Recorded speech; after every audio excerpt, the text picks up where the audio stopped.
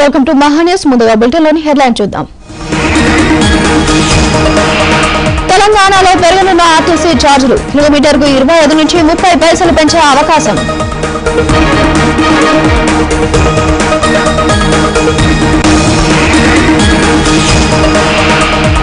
AP వరద బాధితులకు junior NTR ఆర్థిక సాయం. ఇరవై ఐదు లక్షల విరాళం ప్రకటించిన ఎన్టీఆర్.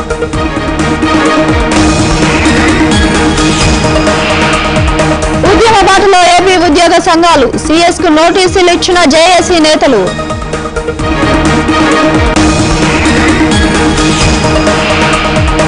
రేపు కడప జిల్లాలో సీఎం జగన్ పర్యటన వరద ప్రభావిత ప్రాంతాల పరిశీలన.